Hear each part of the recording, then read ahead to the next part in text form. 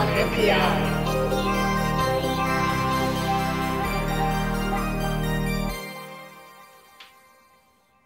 EYE on NPI, we show the new product introductions, the new things that you're waiting to see each week. You know, um, when that Siri thing happened, Yeah.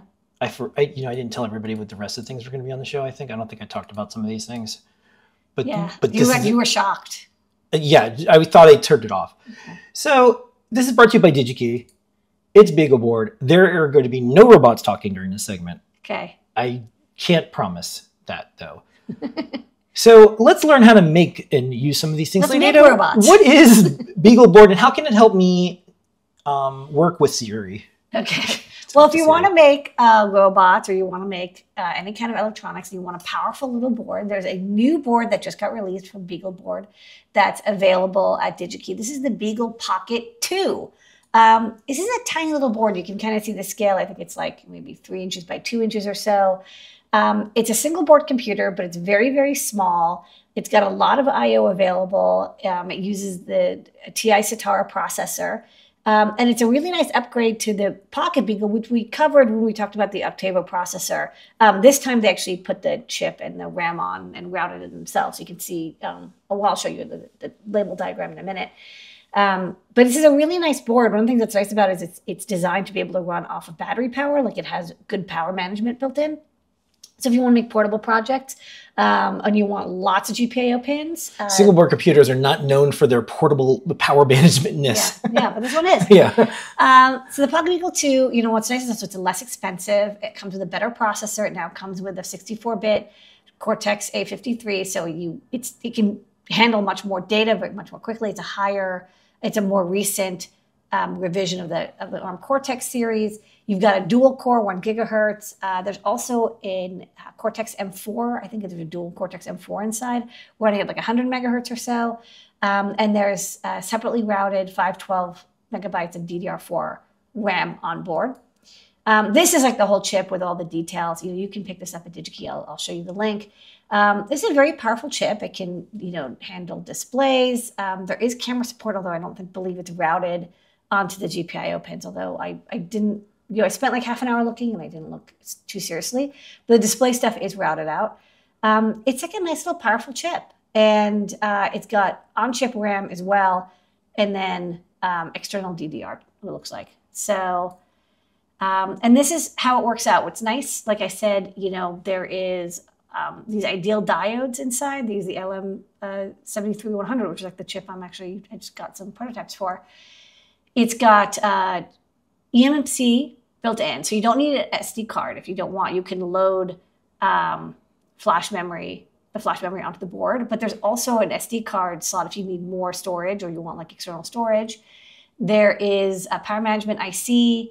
Um, there's USB Type C that is connects directly to the gadget mode of the AM6232. Um, but there's also USB host available. And um, like I said, there's battery charging capability built in. You know, battery leads into you know USB and battery, whichever one is higher, leads into the uh, power management. Um, so it's really designed to make it easy to embed this into small portable gadgets.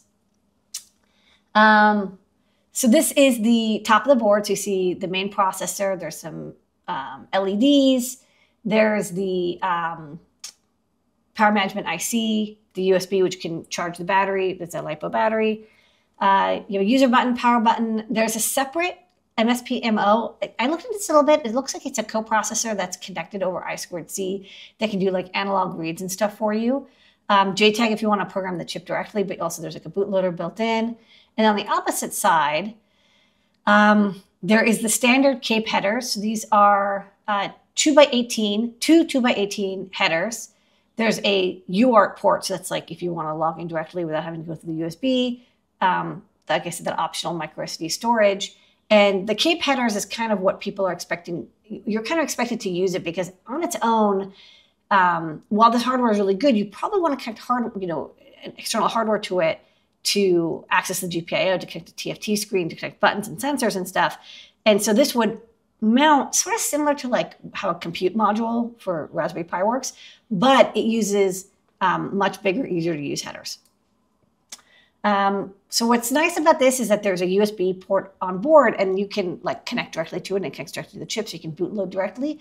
There's also a little UART port that you can use your Pico probe uh, to connect to. Mm. I thought that was really nice. So it's like you know, the little JST-SH connector, you plug it in and you can uh, console in if you want to get like, you know, the low level UART control. The board is clever. clever. These are the two headers. Um, like I said, there's two 36 pin headers, and this is like a standardized pinout. Um, they're of course closer together than the uh, original Beagle board because it's the pocket version. But you still have a lot of stuff. There's analog inputs. There's lots of GPIO. There's the TFT. You can see the USB pins here. Multiple power supplies: three volt, five volt, internal. You know the USB external, USB to you know host device. Um, on the other one, you know, like even more GPIO, there's the GPIO that you can mux in from that microcontroller on board if you want to have a separate microcontroller. Um, the battery temperature monitor, reset. So you kind of have everything you need to, um, you know, like this would be like the brains of your design. You plug this in and then you have like full control over, um, you know, the operating system. You'd have it interact with the hardware. Um, so each of those uh, 36 times 2, 72 uh, pins, you know, there's multiple options available for all of them. So this is just like an example for like, you know, P1, like the port one, pin 8, 10, um, 8, 9, and 10 and 11. It shows you like, well, two of them are USB. Those are the top. But the bottom ones, you can like, there's UARTs, there's tons of SPIs, there's like six I squared C, there's timers, there's PWMs, there's like a ton of steps. You can mix them around you have a lot of flexibility if you want lots of PWMs, want lots of analog inputs, lots of SPI ports, lots of UARTs. Yeah. Another nice thing about it is, um, as mentioned, there. This is true of the Sitara um, group, and you know we've seen people do to the Beagle board.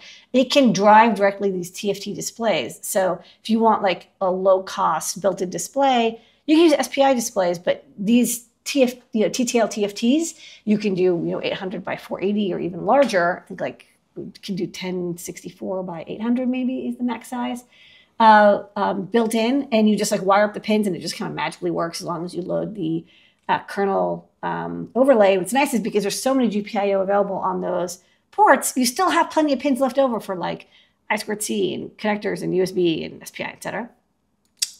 Uh, some good examples of you know, accessories if you want to like, you know, pick something up from DigiKey. These are stock there.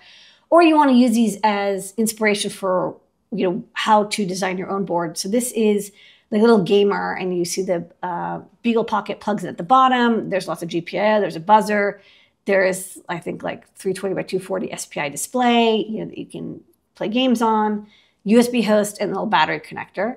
Um, and then there's also this Tech Lab board, which is a little less expensive, doesn't have a TFT, but it does have RGB LEDs so you can practice PWMing, seven segments so you can do like high speed, you know, refreshes, USB host, USB client USB serial, buzzer PWM, etc. I squared this accelerometer on here, et cetera, et cetera. So a lot of, um, again, a lot of ways to experiment with what you can do with this chip because what I like about it is it has a lot more hardware peripherals than just you know, your standard Raspberry Pi. This is meant to like, it can do much more like PWMs, analog inputs, um, you know, multiplexed outputs and stuff. That's, this can do that quite easily. Um, and then another thing that I really like is, unlike a lot of single board computers, the uh, accessories and the main board are all published under open source licenses. So if you go to the GitHub repo, like I downloaded the EagleCAD file and like there's also KiCad um, available. You can use this as the base for your design you know like take what you want leave what you don't which is really nice saves you like a couple of board spins. And then the main repo for the pocket beagle has all the files on it already. So again you know you can download the design files right now and if you want you can pick up the am 6232 chip from digikey if you so want for like you know 11 bucks or so and you could wow your own design and make your own dev board if you want. Um, so I like the openness and like flexibility of the BeagleBoard family. It's it's different than other single board computers, but I like that they're going in a different direction. There's also a webinar next week, uh, so good timing if you want to check it out. Hosted by DigiKey and BeagleBoard.org. Um, probably Kridner will be there. They're great at answering questions um, and helping people get started with their designs. So uh, go sign up. It's free. And it's in stock and it's 30 bucks. I think it's a really good deal. So you get, like, of, of course, it's a really good deal. well, yeah, It's a computer.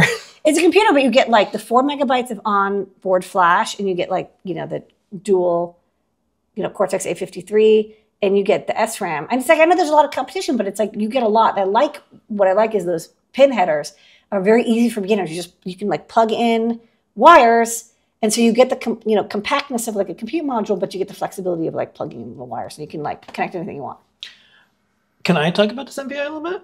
Yeah, Because I really like it. yeah. I want to say, um, you know, at Adafruit we do sort of bug reports. We do hug reports in writing, where someone does something neat. I want to uh, say shout out to Jason and crew at BeagleBoard because from the beginning they decided to commit to open source. They've published their files. Yeah, they publish everything. You can download them all. They did Yeah. everything right. I think the Raspberry Pi, had it not come out, the Beagle Bone would have been like the choice because it's very close to what we saw bunnie doing with Chumby, and it was going this way. You have a lot more choices and flexibility as far as like your final designs with the Beagle board directly. Raspberry Pi solved that, Raspberry Pi, you know, trading co with the modules and like the entire the Yeah. B2B industry. But this is, you know, essentially a TI um, uh, eval board. It isn't. It isn't. Like I, you know, it's not. They're not a TI group. No, but but that's good. Yeah, but it's, I like that it, it it does stuff that other single board computers don't, and it has like this good community support. Yeah, and the reason I say that is because we're in the middle of this tariff thing, and I think, um, and I'm going to email Jason maybe like a, a, a URL uh, link to this. I didn't, and, and I really think that it's it's a great time to get a, a Beagle board and jump into this community because what if like we have to be really creative about how we do computing again Mhm. and Beagle boards used all flavors of Linux, and usually that's a hard thing to get spun up on. Mm. But with LLMs, you can get a lot of real time Yeah. in the terminal help about how to do the basic things. You have one on one help. So I think there's going to be a resurgence in single board computers only because the resources that the Raspberry Pi put out for Raspberry Pi yeah, are available for all single board computers now, essentially. yeah. Look, Python anyways- runs on this board Yeah. just fine. So I'm excited. I'm excited. Okay, that is NPI. Uh, Jason, good work, everybody. Thank you for keeping a nonprofit open hardware thing going. Thank you. Pi on NPI.